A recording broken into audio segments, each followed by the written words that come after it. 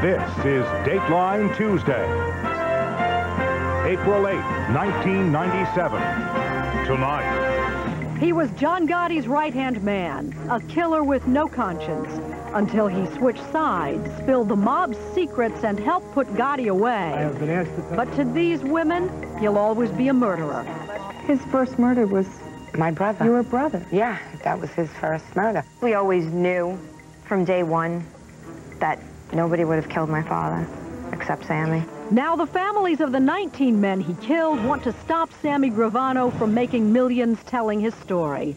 As long as it doesn't go to Sammy, that is our pure satisfaction. But then, the Dawn Fratangelo with the controversial memoirs of a murderer. give you this ring. They had a love that was supposed to last forever when the unthinkable happened.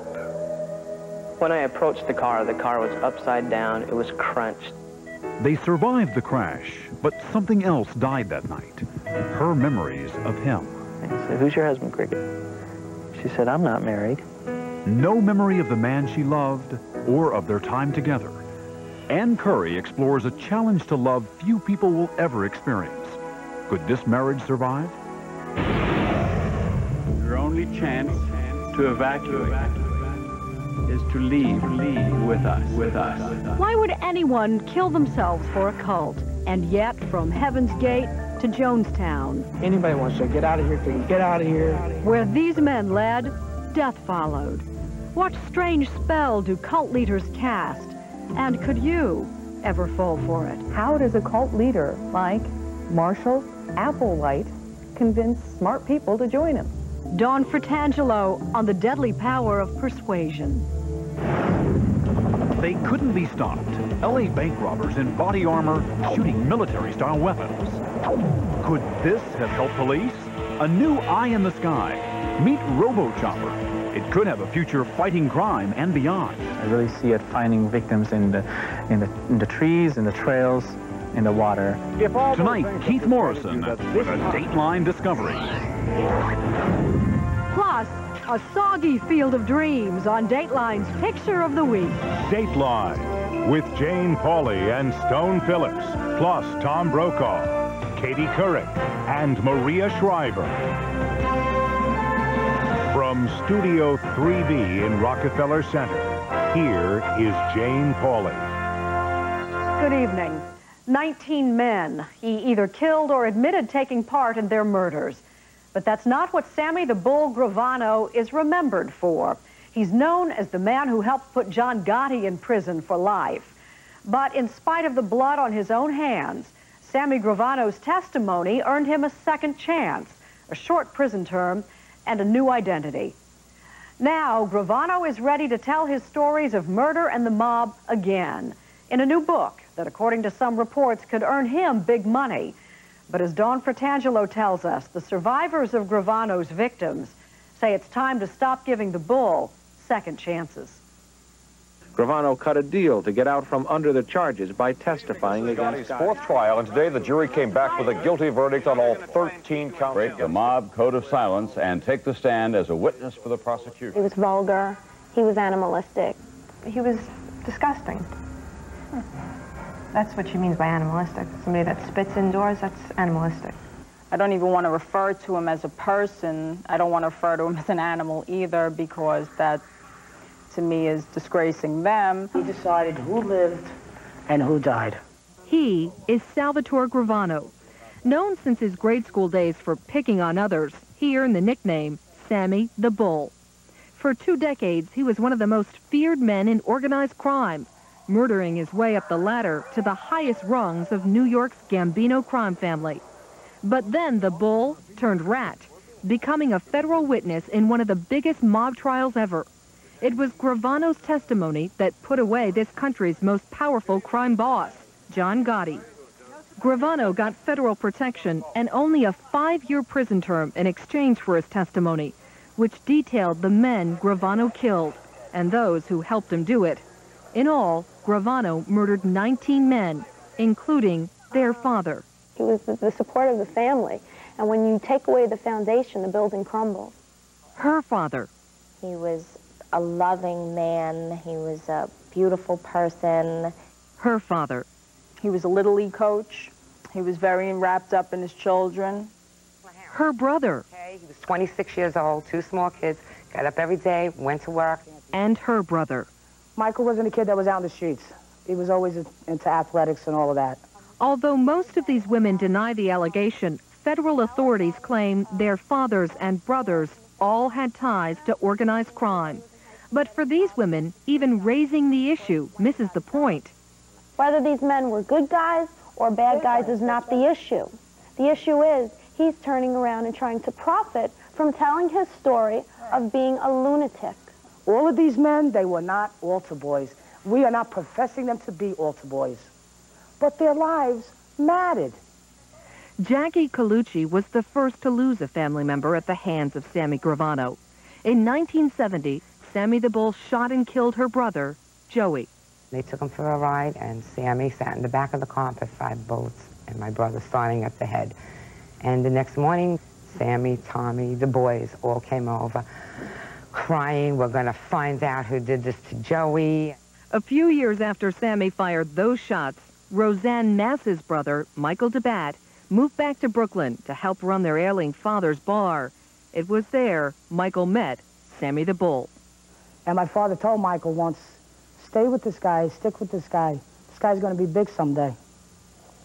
Father didn't know those words were going to come back to bite him. Michael developed a bad habit, drugs. His sister believes Sammy worried Michael might rat him out if arrested on a drug charge. And then Michael got worried that Sammy was worried. Two weeks before he got killed, he came to my house like 5.30 in the morning, said, well, watch after my daughter, be a part of her life. And then two weeks later, he was killed, Michael. He couldn't get out. There, there is no way to get out except the way he got out.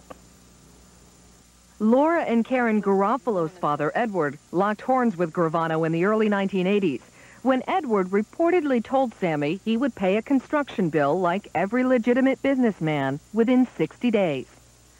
Well, that was way too long for Sammy. And um, he came down to the office and he said, I think I'm just going to take your car. My dad drove a Rolls Royce and Sammy wanted this car. And my dad said, over my dead body, are you going to take this car? And what did Sammy do to your father, um, ultimately? He was leaving his house, walking to his car, and he was gunned down.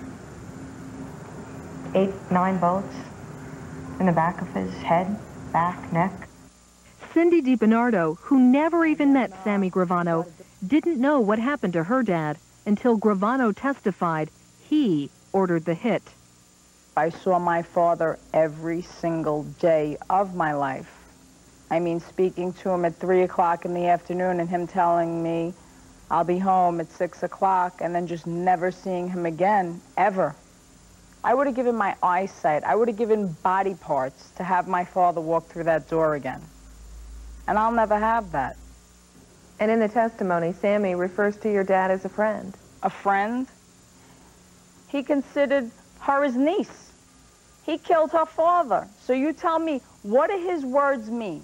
What do they mean? Friend coming out of his mouth is garbage. You went to Sammy right. after your dad was missing. Because um, a while back, my, my father said, if you ever need anything, go to Uncle Sammy. Gravano was a familiar face around the Milito house, so when her dad was missing, she turned to this old family friend. He said, but you know what? Let me send the word out right now. My word will be like a whisper. And then uh, pretty soon uh, I'll shake buildings if your dad doesn't turn up. But don't worry, Princess. Everything's going to be okay. But everything was not okay. Three days earlier, as Sammy sat playing cards a few feet away from her dad, Gravano's associate shot Louis Milito once in the back of the head and once under the chin. Dina still remembers the promise Sammy made her. Says, I'll find you, Dad. Don't worry. To this day, the bodies of Louis Milito and Robert DiBernardo are still missing. What happened to the fathers and brothers of these women could have remained a secret forever. But then the FBI arrested Gravano and his boss, John Gotti, and charged them with murder. Twice before, Gotti had been acquitted, embarrassing the government. This time, to ensure conviction, prosecutors say they chose the lesser of two evils and cut a deal with confessed mass murderer Sammy Gravano. Federal authorities have said that it was very painful for them. Ah, my heart bleeds. Yeah. They patted him nicely on the head and said, good boy. So you tell me how difficult must that have been for them? All of us were victimized first by Sammy Gravano. Then we were victimized by the legal system, so that's twice. And then it was uh, surfaced in the, in the newspapers that he's writing a book, and that would have been a third time. Reports that Gravano had received a six-figure advance for his memoirs united these living victims of Sammy the Bull. All feel that Gravano has earned enough blood money from the deaths of their loved ones. Did Sammy make money off your father's death? Of course he did. He acquired all my father's businesses. Did Sammy make money off your father's death? Oh, he, the second my father was killed, he grabbed an attache, uh, attache case full of cash that my father was going to pay for my furniture for the house that he had just built me. Gravano didn't acquire anything for the murder of Roseanne Mass's brother. Instead, he consoled the grieving family with a gift. You got $500 from Sammy? At the wake. I even have a little book. You know, when you're, you're at a wake and you have the, the booklets, it's right there. Mr. and Mrs. Sam Gravano, $500. What did you do with that $500? We burned it. See, Sammy had to kill in order to obtain any type of money or any type of business. See, on his own, to think it out and physically do it with his hands without a gun in it, he couldn't. He didn't have the brain capacity to earn a penny without killing for it. What's more, Sammy's not even doing the heavy lifting on his own book. Instead, it's being written by Peter Maas, the author of bestsellers like Serpico and the Valachi Papers. Maas refused to do an interview before the publication of the Gravano book, but he is quoted in a New York newspaper as saying, in this book there are no innocent victims. They're all mob-connected killers. That's Peter Maas. He's selling a book, so we can't take our anger out on him. May he sell his book. May the profits not go to Sammy Gravano. Absolutely. Just finding the profits may be a problem. The deal was made in England, not with Sammy Gravano, according to the publisher HarperCollins, but with Peter Maas. So to press their case, the women have hired a bull of their own, attorney Ron Kuby. HarperCollins apparently has learned a great deal about Sammy Gravano and about the way he does business. In fact, they've structured this literary deal like a mafia operation with lots of layers of insulation between the people who are making the money and the people who are paying the money, and a conscious effort to evade and avoid the son of Sam law. The son of Sam law, which could be the basis of a lawsuit by the women, allows victims or their families to recover any profits made by the criminal from the crime itself, including writing about it. For Kuby, this is not the first time he's gone up against Gravano. In 1992, Kuby and his former partner William Kunstler tried unsuccessfully to have Gotti's conviction overturned, a conviction made possible by the testimony of Sammy Gravano. He murdered for greed, he murdered out of bitterness, he murdered out of anger, and, and, I certainly don't believe that he has written this book solely in order to enlighten the American people about his role in La Cosa Nostra. He wrote this book to become a member of the Millionaire Murderers Club, and that's something we're going to stop. If uh, Jeffrey Dahmer wanted to tell his stories of what he did to these, to these innocent people, there'd be outrage, disgust. So what makes this any different? He's a mass murderer, like any other mass murderer, so he should not profit from this. And that is the cause which has brought these women together, a cause so strong they've agreed to overlook some dark rumors. But I, and I know it's a sensitive topic, but some of you know that Sammy didn't pull the trigger on every one of these deaths, right? Right. Is it possible that the fathers of some of you or the brothers of some of you could have pulled the trigger on someone else? We acknowledge that. We had to leave that at the door, and that's where it remained. In a strange way, these women have formed a sisterhood out of their pain. They are strong, united, and defiant. You want to call this organized crime? You want to call this a mob? That's it.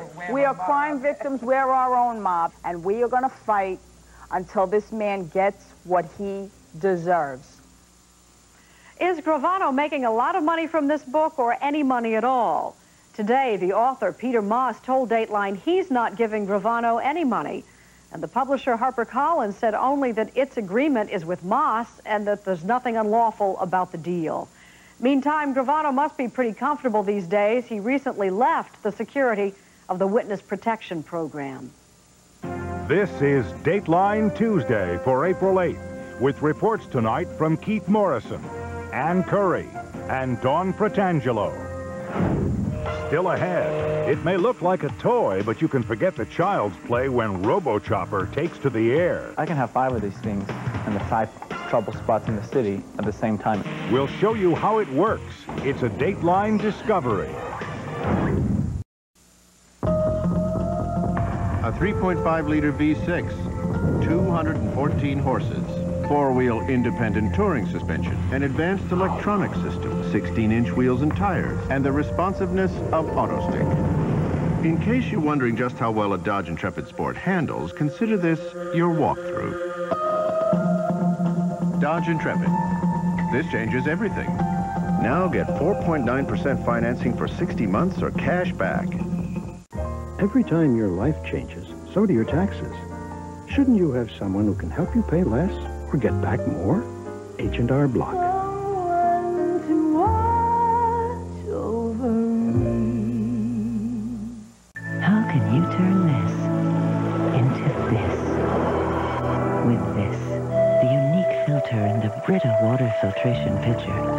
Reduces lead and chlorine. Brita makes tap water wonderful. At La Quinta Inns, we have 30,000 new rooms. This is the story of room 30,001. Never seen a room on a truck like that. There's 30,000 rooms in La Quinta's chain, and they're all like this. And this is 30,001. And I'm the driver that's touring it around the country. I'd stay there.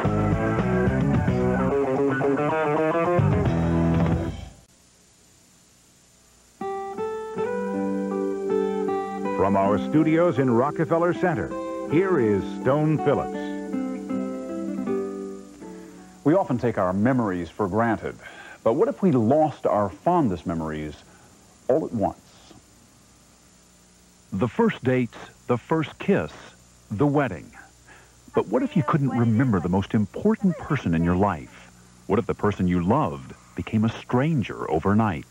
It was a knife in the back, literally.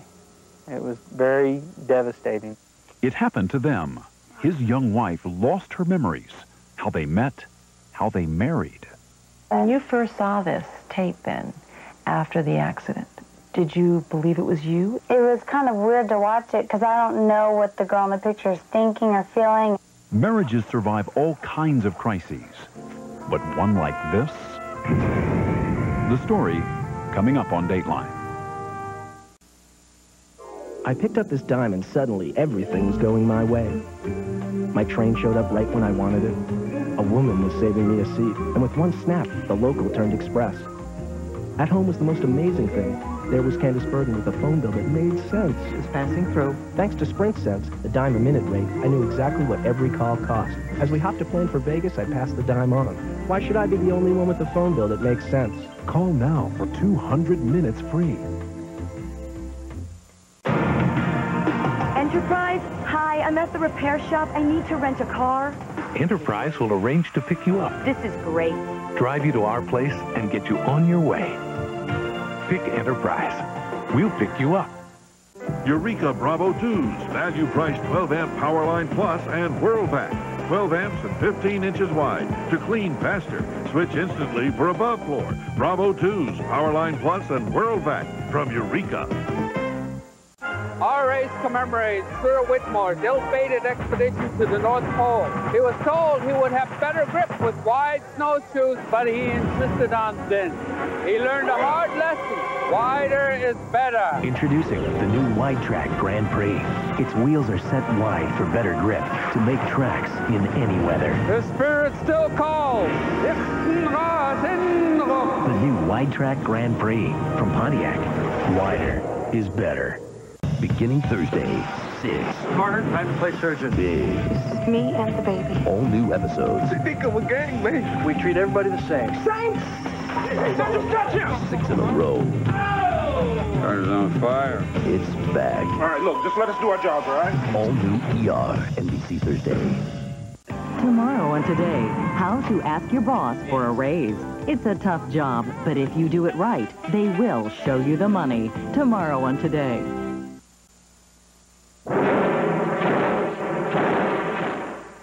North Hollywood, California, just over a month ago.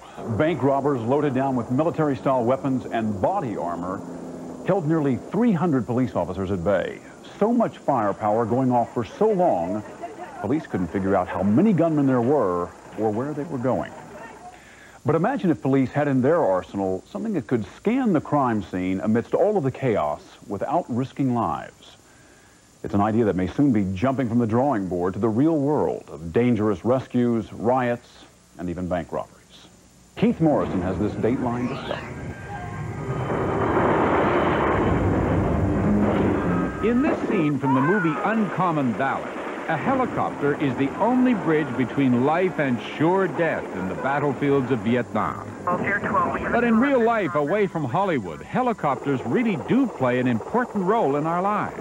They're used every day to douse mountain fires, rescue people from desperate situations, and help us weave through traffic to and from work.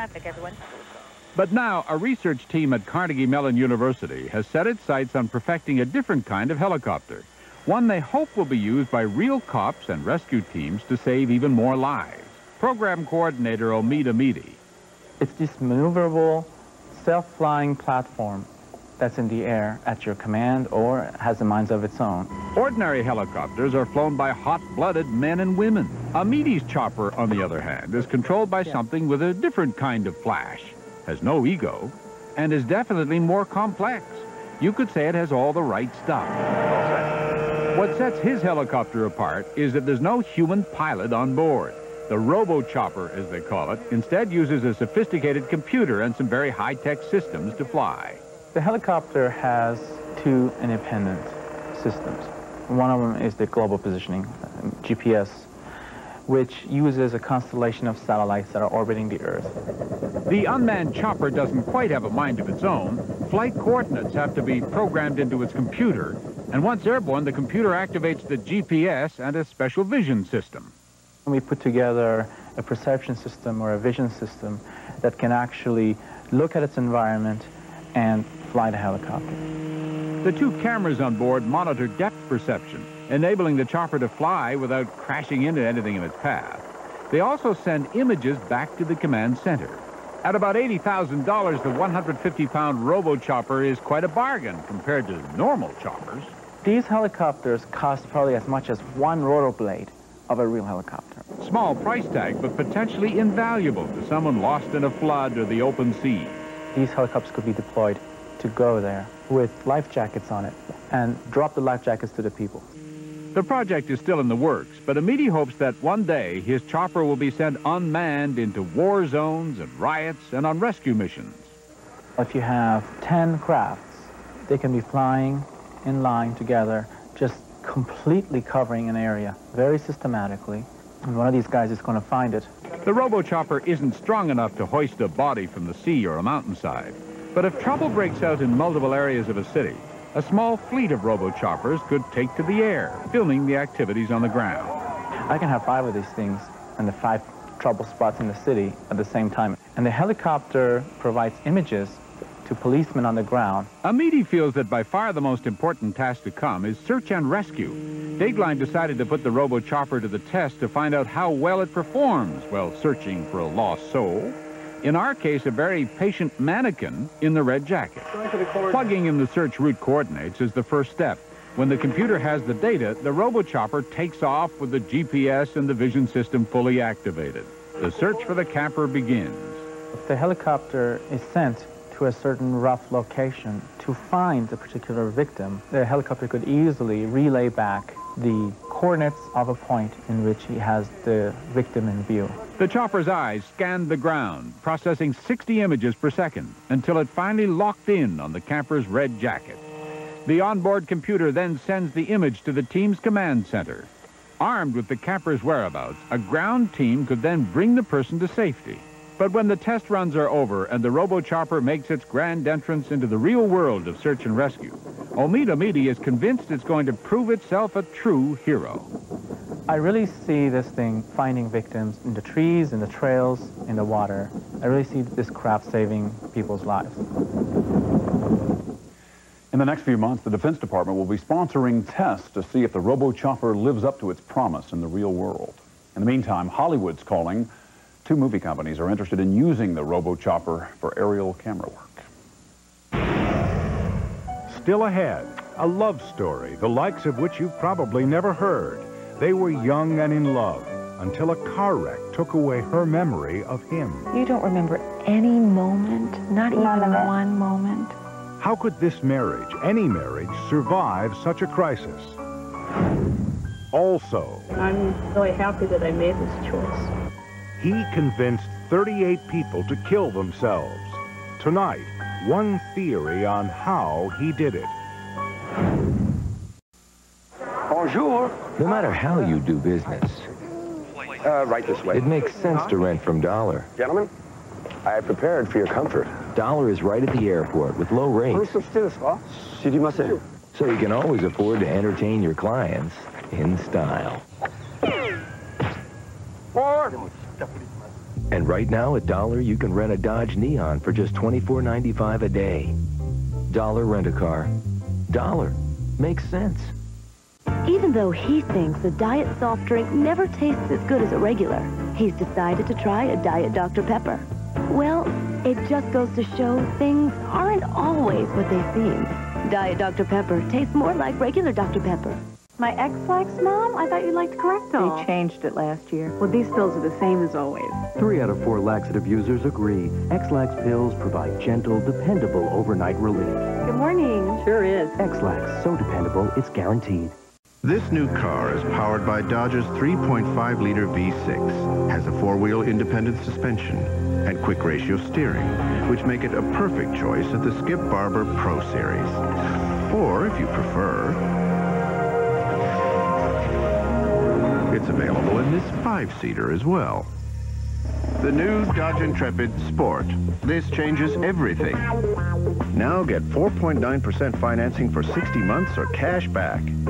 I want you to defeat the Trojans. He set sail to fight a war for the gods. But when he betrayed them... You cannot stop me! He began the greatest adventure of all time. To find his way home, he will battle against nature, amazing creatures, and the gods themselves.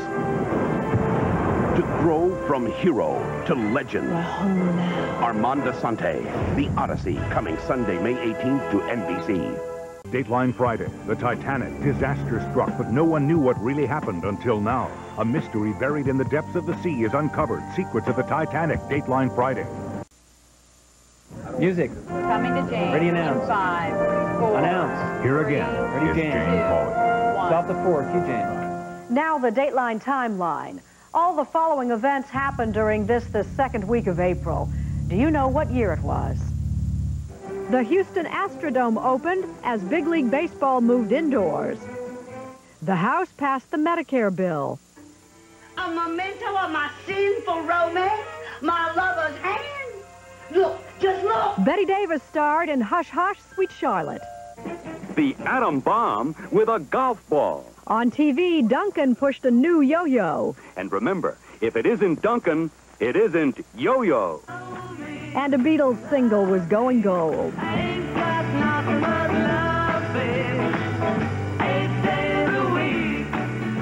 All right, what year was it? 1965, 1966, or 1967? The answer when Dateline continues. It's a ripoff. A fleecing of America we warned about two years ago. Since then, it's cost you another $6 billion. Congress has done nothing. Why? Watch NBC Nightly News tomorrow. A woman murdered. Her sister assumes her identity. Why don't you show us how you did it? It's a courtroom double cross you must see. To believe. Law and Order, NBC Wednesday. Here are some of the stories you'll see on 9 News at 10. Some satellites are in danger from the sun. Researchers say these solar flares are causing millions of dollars in damage. And some very unspring-like weather in Colorado today, but it's nothing compared to the weather over the northern plains. Mother Nature's playing a real cruel joke here. Then, only on 9 News at 10, he doesn't trust the government. You need to prepare for what might be the inevitable. He's the leader of the Montana militia, and he's bringing his beliefs to Colorado. Watch 9 News tonight at 10. What does Oppenheimer Fund's approach to risk management mean? Simple. Every time the market is doing this or that, I don't have to panic. Oppenheimer Funds, the right way to invest. This is Robert Morris, Lotto winner number 115. Okay, Robert, solve it. Well? We're here today to see if the reason Robert won Lotto and you haven't is because he possesses some sort of mathematical genius or some special talent with numbers that makes him different than you. Uh, I'm afraid you'll have to ask someone else. Apparently, he does not, which just goes to show you, if it happened to Robert, it could happen to you. KYGO FM is back with Denver's biggest contest. Grab your share of a half million dollars. The KYGO FM Mystery Jukebox Game. Half a million dollars. Wow. That's a lot of money. Tell them how you win. It's easy. Guess the right song and win $5,000. It could be you. Win every weekday at 9, 2, and 5. Show me the money. The KYGO Mystery Jukebox Game. Do you feel lucky? Listen and win. From FM 98.5 KYGO. You can save $3,500 on a 97 Tacoma at the warehouse. Get it at the warehouse. Douglas Toyota, the Toyota warehouse. It's the only way to be sure. Some people find investing exciting. Not me. Oppenheimer Funds goes for long-term performance. I'll take that over excitement any day. Oppenheimer Funds, the right way to invest. I'm Nick Carter. You're watching Channel 9.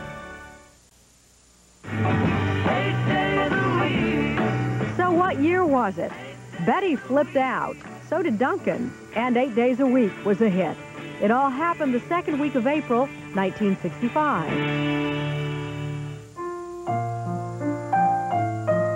From Studio 3B in New York, here again is Jane Pauley. Everyone loves a good love story. Typically, it ends at the altar and they live happily ever after.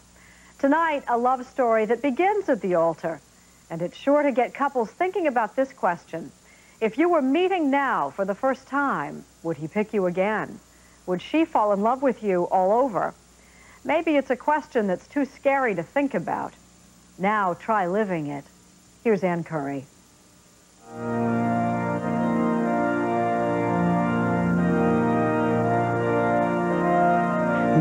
Like these are supposed to last a lifetime. At least that's what Kim Carpenter thought as he placed the ring on the finger of the love of his life, Cricket Pappas, three years ago. You may kiss your bride. And on that day, Kim never dreamed how much his love would be tested.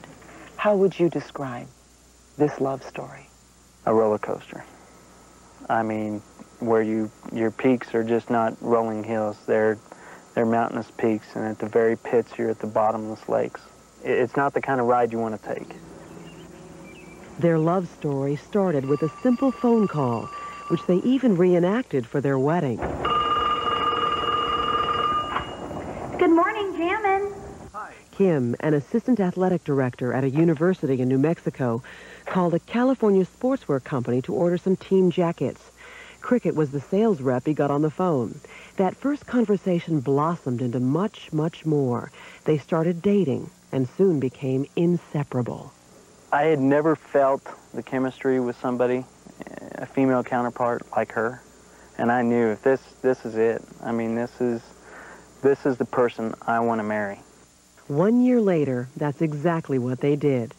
After honeymooning in Hawaii, Cricket moved to Kim's small town of Las Vegas, New Mexico. They had barely finished unpacking their wedding gifts when it happened. You just never know. In a split second, your life can change, just like that. It was night. The newlyweds were headed to Cricket's parents' home in Phoenix for Thanksgiving. Kim, feeling sick, was resting in the back seat. Then, on a highway just outside the city of Gallup, I heard watch out and the most blood-curdling scream. And right then, I, I looked up. I remember seeing headlights out of Cricket's driver door mirror, and uh, never saw what we hit. Cricket had swerved to miss a flatbed truck, but then another truck plowed into them from behind. The impact sent their car literally flipping through the air. It was a gruesome crash scene. Kim was badly hurt, but conscious. I heard Cricket just gasp, and I thought, oh my gosh, she died. She knows, I thought it was the last breath of air she could get. And I screamed and screamed and screamed for us. It, to me, she basically didn't have a, a chance in hell of survival. DJ Coombs was the head emergency technician on scene that night. When I approached the car, the car was upside down. It was crunched. Um, the lady was suspended by her seatbelt and the steering wheel. Cricket had to be cut out of the car and airlift to Albuquerque, teetering between life and death. When Kim first saw his wife in the emergency room, he was horrified. She was in these seizures, and, you know, like she, they had her strapped down, she was fighting to get away. But she was swollen. She had a tube coming right out of her head. I mean, this wire. And I just, I wanted to throw up. Cricket's parents, Mary and Gus Pappas, remember the call that is every parent's worst fear. First he said, Mom, I hurt so bad, and Mom, I can't live without her. When Mary and Gus arrived at the hospital, Cricket was in a coma. Things didn't look good. So they and Kim did the only thing in their power, pray. Finally, 10 days later, Cricket started to emerge from the coma. Your prayers were answered. Right. I mean, right on the tee. Cricket was alive. Yep. She wasn't the same. Nope. In fact, for Kim, the worst was yet to come. Doctors discovered something during a routine test that shocked everyone. As they wrote in her medical records, while questioning Cricket, they found she knew her name, but was disoriented and thought the year was 1965. And that's just the beginning. Kim painfully remembers every word of the rest of the questioning. Who's your mom? Mary. Who's your dad? Gus. And, and they said, well, who's your husband? She didn't say anything. So who's your husband, Cricket? She said, I'm not married. I felt right then the exact same way that I felt when I didn't know she was alive. It was a devastating blow for Kim. He couldn't believe the love of his life, his soulmate, didn't even know who he was. For months, Cricket went through exhausting rehabilitation in a Phoenix hospital. Kim visited her every single day, all day. But still, she didn't recognize him, no matter what he did. I put pictures of us on both sides of her bed, below the TV, in the mirror of the bathroom, on the wall when she sits on the toilet. I mean, I did everything possible to try, you know, hopefully that she would begin to remember me. And Kim didn't stop there. He reminded Cricket of walks on the beach, movies they'd seen together, gifts she'd given him. He even showed her the printed program from their wedding. Nothing worked. It sounds unbelievable, but experts like neuropsychologist Pam Klonoff, who work with brain-injured patients, say memory loss in severe cases is not as rare as it sounds. Patients lose recollection of events surrounding the time of the injury. They don't recall their exact accident, and they don't recall events preceding the accident. In other words, Cricket was able to remember the distant past, like her parents. But since she met Kim and married him so close to the time of the accident, her memory of him was wiped out. And to make matters worse, Cricket, who was just beginning her rehabilitation, had to learn even the most basic things over again, like these patients. Are you ready? Yeah. Go. Green, green, red. They are learning to recognize simple words again. They're even taught to use a date book so they don't forget to do basic tasks like picking out clothes, brushing teeth, taking showers, just the way Cricket was taught. I watched the therapist teach her how to, to take a shower, how to turn it on, how to get under the shower, how to dry herself, how to put on her clothes, just like you would teach a small child. That's exactly where she was. She was starting her life over again. Through it all, Kim stayed by Cricket's side, even though she still didn't remember him. When he had to return to work at the university, he'd shuttle back and forth, traveling 600 miles each week just so he could be with her. Eventually, Cricket began to make progress in physical therapy, but sometimes she'd get so frustrated she'd turn on Kim. She would tell me she hates me, you know, um, go home, uh, I don't like you, you're mean to me. It was a knife in the back, literally. Kim, a lot of people would not have stuck this out. Huh? Why did you stay with her? I felt like it was my duty. And she would have never married a man who would have walked. Slowly, Cricket regained herself, but she has never regained her memory of the Kim she married. Nonetheless, five months after the accident, Cricket moved home with Kim, accepting on blind faith that she was in fact his wife. They became intimate again. But still, Cricket continued to search for anything that would jog her memory. It's so hard to believe that you don't remember Mm-hmm. such a huge moment in your life. Mm-hmm. You don't remember any moment, not None even one moment. You first saw this tape then after the accident. Mm-hmm. Did you believe it was you? It looks like you. Yeah, I believed it was me, but it was kind of weird to watch it because I don't know what the girl in the picture is thinking or feeling, and it looks like everyone's having a great time, but I don't have any feeling of it. Cricket had to force herself to accept that those memories were gone. And all this began to take a toll on her relationship with Kim. The two found themselves arguing as never before over petty things like what time to go to the movies, lost eyeglasses, and whether or not to go biking. Even when Cricket returned to work as an exercise specialist at the University Health Club, things were still tense. Then a counselor suggested something that most married couples would never think of, to act as if they were single again. You dated? Yeah. Dated? Yeah. Talking movies? go to the show, go eat pizza, or drive to Santa Fe, go bowling. Flowers? Yep. She gave you flowers?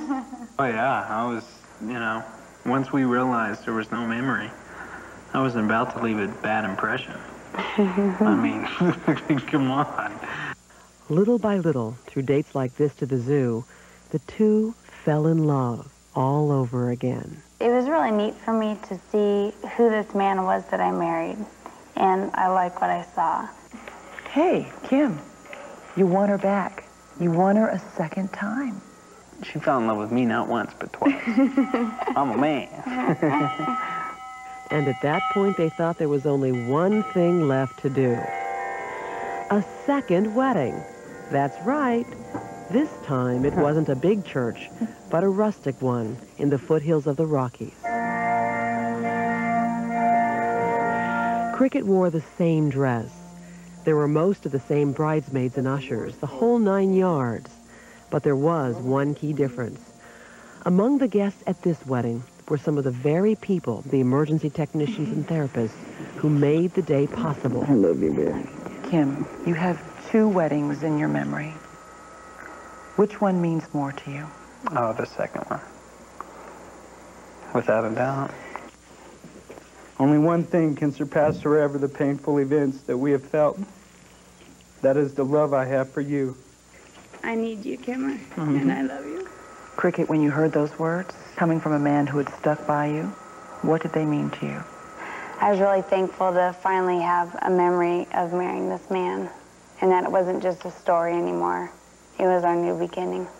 A new beginning in a story about the courage of a man and a woman who had every reason to give up on their marriage, but didn't, and who now feel that they can face anything the future may hold. Isn't it pretty out here? It's beautiful. All the struggles that we've had to fight through have definitely um, deepened and strengthened our love probably a lot farther than it would have been if this car accident never happened. We have true love, and I honestly feel that. Mm-hmm. Nobody can take that away from us. Now that Cricket has a new set of memories, what about the missing years? Well, it's now been more than three years since Cricket's accident, and experts at Barrow Neurological Institute, where she went through rehabilitation, tell us that if she's not recovered her memory by now, she probably never will. Coming up next, Jim Jones, David Koresh, and now, Marshall Applewhite. How did these men create cults so committed that followers were willing to kill themselves? the happiest day of my life. Plus, the Atlanta Braves plumbing problem on Dateline's Picture of the Week. There's only one garage that's filled to capacity with these top brand tires. Sears Auto Center. And right now, select Michelin tires are on sale at guaranteed unbeatable prices. And remember, the pressure's on us to deliver. Select Michelin tires on sale at Sears. No matter what's parked in your garage, chances are you'll find a tire for it in ours. It won't print. Still won't print? Still won't print. It won't print. Jiggle the cable. I jiggled. I'll jiggle again. That's the light. That's the light? That's the light. It won't print. Won't print. Won't print. What's the problem with the printer? It won't print. Can you print? It's not the printer. It's the computers. Hadley downloaded a virus off the web. Hadley. IBM protects your network. For all of us who couldn't wait to get out of high school, You look great. How long have you been? Since you stood me up on prom night? comes the story of a man What have you been doing with your life? Professional killer. Do you have to do postgraduate work for that? who's looking for a second shot. I'll come home. I'm in love with you. I know we can make this relationship work. Grosse Pointe Blank, You're a psycho. Don't rush to judgment on something like that. rated R. Starts Friday, April 11th at a theater near you. Pardon me. Wow, that's some breath. Oh, I agree. I've enjoyed your breath ever since 96th Street. Thank you very much. Want the ultimate fresh breath? Try Breath Savers with its cool, minty core. Breath Savers. Would you like to try Snackwell cereal bars? I've got strawberry, banana, and raspberry. Really fruity. I want to try the other ones. Sorry, I have to save some for the other people. Mother. Yes? Loaded with real fruit filling. Snackwell's fat-free cereal bars. Later on an all-new Tonight Show, friends Lisa Kudrow has a little confession to make. I'm sorry, I shouldn't have taken Joey and Chandler's apartment home.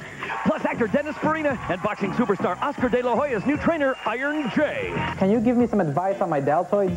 Deltoids? Listen, I don't even watch Star Trek, okay? then Conan's got Rob Lowe tonight. Saturday. Oh, what a tangled web we weave. One of their own murdered. Not a game this time. I just found him. One of their own My operation, so back off. is the killer. Could be revenge. Just watch my back for me, son. I will see justice done. You're accusing me? I think that you killed him. All new Profiler on the NBC Saturday Trilogy.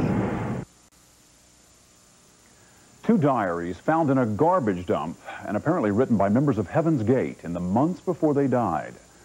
They may offer new insight into the cult. One entry casually lists their recipe for death. Quote, one hour before, tea and toast. Then, 10 pills and vodka. More proof, as if we needed it, of the powerful grip Marshall Applewhite had on his followers. But still, no answers to the one most puzzling question of all. How did Applewhite gain that power? Tonight, Dawn Fratangelo on how cult leaders cast their spell. We may never really know the question that is on everyone's mind. Why did they do this? For so many of us, it all seems so bizarre. We're on the threshold of the end of this civilization because it's about to be recycled. Strange people, we think, saying and doing even stranger things. The estimate of the dead at the Jonestown camp in Guyana is now 780. Sometimes with catastrophic consequences like this. And like this. And now, like this. The gruesome task now of removing 39 bodies. Still, these cult leaders who seem so, let's face it, crazy to us, can engender religious devotion among their followers. So we wondered, how do they do it? How do they create a cult so committed, so submissive, so utterly devoted that followers are willing to die at their command? Because their death isn't death to them. It's the beginning of eternal life. Robert J. Lifton is a professor of psychiatry at the City University of New York. He says essential to the success of any cult leader, like Jim Jones, is his personal charisma and sense of grandiosity. He creates a euphoria among his clan, and that makes members susceptible to his commands. These gurus are very complicated people. They can have some genuine traits of social and religious leadership, along with profoundly paranoid traits, along with antisocial traits, along with self-destructive and suicidal traits, along with murderous traits. People play games, friend. Lifton says cult leaders convince followers that they are immortal and their immortality can be transferred to them. That leads to strange behavior in our eyes. How do you get people to believe that, one, the leader's an alien, and if they're a follower, they're an alien, and that a spaceship is going to come and get them? Well, any extreme group is likely to draw upon the immediate images and mythology of its society and culture. That mythology extends back more than a thousand years. The book of Revelation foretells the violent end of the world, and the 16th century astrologer Nostradamus predicted the world would end at precisely the beginning of the year 2000. What is it about David Koresh, Jim Jones, Charles Manson? What did they possess? What every one of them has in common is the capacity to convey to followers a sense that they have renewed energy and life power. Lifton has just returned from Japan, where he's been studying the Aum Shinrikyo cult. It was two years ago that the group released deadly sarin gas into the Tokyo subway system, killing 12 and injuring 5,000. Lifton says their leader, like other cult leaders, such as Marshall Applewhite of Heaven's Gate, tap into and validate the fears and concerns of their followers. When I talked to people from Aum Shinrikyo, the Japanese cult, they said that the Guru Asahara said things that I felt and believed. And as soon as I heard him say that, I knew he was the mentor for me. And I'm sure that's the way people felt about Applewhite. These people may have come to Mr. Applewhite with a sense of despair and loss somewhere deep inside themselves already. Yes, it could have been despair and loss. It might have been less than despair, but some sense of emptiness and confusion. I believe that David Koresh uh, was divinely inspired. I believe that he was a messiah of sorts. And this is exactly what experts like Robert Lifton are talking about. David Thibodeau was a member of David Koresh's Branch Davidian cult. It appears that Koresh and most of his followers were consumed by the flames. When the government raided the compound in Waco, Texas, Thibodeau was one of those who got out alive. He says he slipped out a side window. He was arrested and held briefly. I believed in David's inspiration 100%. I still do to this day. If I'm not agreeing with him, I'm simply not agreeing with the words that God put down in the book. When you listen to David Thibodeau, you're listening to a true believer, someone who sees David Koresh as an immensely misunderstood prophet who received messages directly from God. We should admit to ourselves that we don't know what the prophets have taught. He took a Bible and he put it up to his forehead. And he said, no, when I see the scripture, I don't see this cover and all these pages. I see cover to cover panoramically. ATF, you boys are wrong. Thibodeau takes issue with experts like Robert Lifton, who argue that the personal charisma of cult leaders like David Koresh is at the heart of their success. He says it's much more than that. For instance, Thibodeau says he could be utterly confused by a page of scripture. And then here's this guy, this little, this, this hick from, from Waco, Texas, that just opens his mouth and makes it so clear you can't believe you could never see it before. That, of course, is precisely what defines so many cult leaders, from Charles Manson to Jim Jones to David Koresh, and now to Marshall Applewhite. Welcome to Beyond Human. That ability to put into words what their followers have always believed. They offer hope and clarity to people who feel society and mainstream religion have failed them, no matter how intelligent they are. How does a cult leader like Marshall Applewhite convince smart people to join him? Intelligence is not necessarily a barrier to embrace of a guru. In other words, the issue is not intelligence. The issue is hunger for what the guru promises. Very happy to, to be here. And if experts on cults can agree on one thing, it is that as we approach the year 2000, that hunger is likely to grow, and scenes like this may grow increasingly familiar. Here comes a body right now.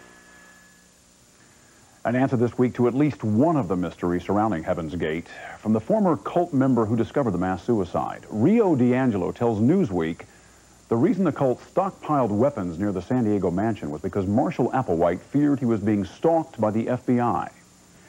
Rio also says he believes the cult members would like all of the attention they're getting right now because before the suicide, no one would listen. Coming up next, a major league leak on Dateline's Picture of the Week. Dateline will continue after this message from your local station. Coming up next, I couldn't really think how anybody could have survived that accident. Northglenn High School mourns the loss of a friend. Also, solar flares threaten to destroy millions of dollars in satellite technology. Nine News is next. 1892, toothpaste is invented. 1955, fluoride. 1985, tartar control. Now, tartar control toothpaste from Listerine that keeps fighting germs for a long-lasting clean. Introducing Cool Mint Listerine Tartar Control toothpaste. It keeps fighting germs even after you stop brushing, so that clean feeling lasts. Finally, new Cool Mint Listerine Tartar Control toothpaste. Look for the dollar coupon this Sunday. Ooh, he's so good. Lauren, come on, let me see. Yeah. Come on. If you've been working for a favorite look, those are great. Yep. Mm-hmm. Part of getting that look should be including Kellogg's Special K. Great toasted taste, 110 calories, and fat-free. Buy them. Kellogg's Special K. Great taste never looks so good. Yeah. Incredibly, Matchlight, the dependable one-match charcoal from Kingsford, is ready to cook on in just 15 minutes. So, the sooner you get Matchlight, the sooner you eat.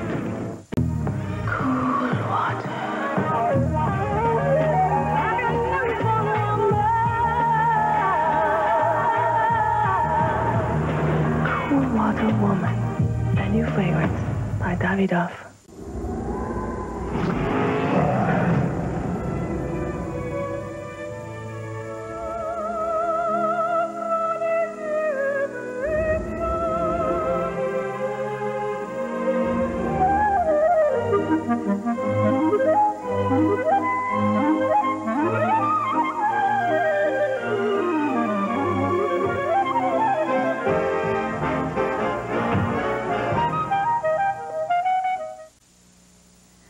Here's Tom Brokaw with a program note. Thanks, Jane. Tomorrow it's a government giveaway, a fleecing of America that we warned about two years ago. Since then, it's cost taxpayers another $6 billion. Congress has done nothing. Why? You can find out tomorrow on NBC Nightly News. Stone? Thanks, Tom. Now let's take a look at one of the stories we're working on for Dateline Friday.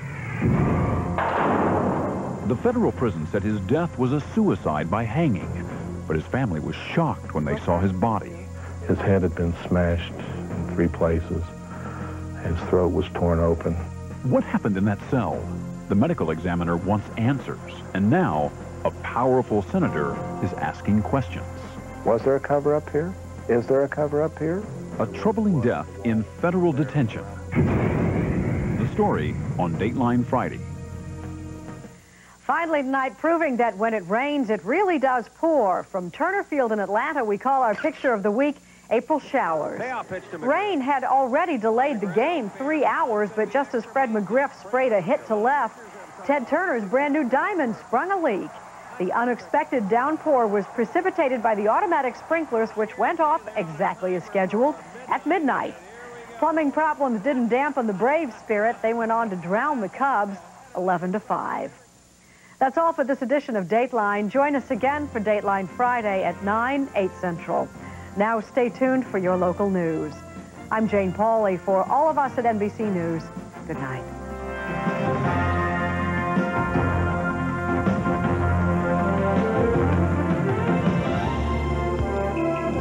Later, Jay gets by with a little help from his friends, Lisa Kudrow, actor Dennis Farina, and boxing champ Oscar De La Hoya. Stay up for Jay. Your local news is next. Coming up, the flood of 97 is raging across the northern plains. Residents prepare for the worst and hope for the best. And in weather, I'll tell you if spring will return to the metro area. And a letter by Tim McVeigh written from his jail cell. 9 News is next.